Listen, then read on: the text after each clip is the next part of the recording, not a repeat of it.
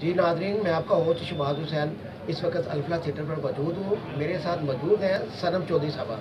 तो ये ड्रामा कर रही हैं गड़े की मछली। तो आइए उनसे बातचीत करते हैं कि इनकी क्या परफॉर्मेंस है गड़े की मछली। जी सनम चौधरी साहबा।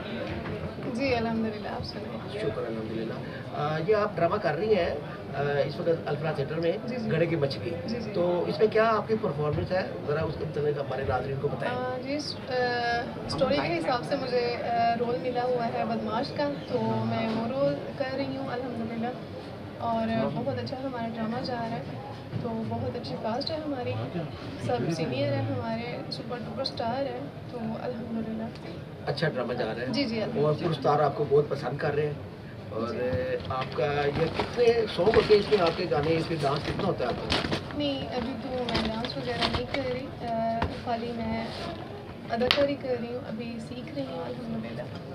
तो आहिस्ता आहिस्ता ये अभी आप इनिशियल स्टेज में अभी आप सीख रही हैं और देख रही हैं। सारा तो चला बड़ी जल्दी आप कम कर देंगी देख लेंगे यहाँ पे टैलेंट है। तो दूसरी बात ये है कि आप ये बताएँ कि कैसा बिहेव है प्रोड्यूसर साहब का अपने आर्टिस्टों के साथ? बहुत अच्छा है बहुत अच्छा है ये नहीं कहा जाता कि अच्छा है नहीं बहुत अच्छा है अल्हम्दुलिल्लाह। और हमारे साथ तो बहुत अच्छे हैं सबके साथ हम देखते हैं कि वो बहुत अच्छे हैं। कभी ऐसी कोई बात नहीं हुई कि जिससे बंदा थोड़ा सा भी कहे कि नहीं कुछ ऐसा कोऑपरेटिव है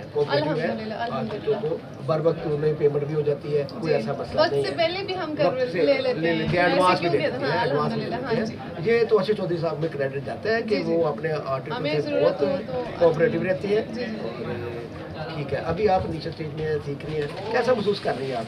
अल्लाह का शुक्र है, बहुत खुश हूँ मैं कि मैं एक अच्छे स्टेज पे और अच्छी मतलब सुपर डुपर स्टारों में काम कर रही हूँ, मेरी खुशकिस्मती है कि मैं कर रही हूँ, अल्हम्दुलिल्लाह। ये हमारी ये दुआ रहेगी कि ताला आप माजी में एक अच्छी आर्टिस्ट साबित हो और अपनी मेहनत दिल लगी से। जी नाजरीन हमने सनम चौधरी साहब से बात की है और उनके ख्याल का उन्होंने अपना इजहार किया तो मुझे दीजिए इजाज़त। अल्लाह हाफ़िज़।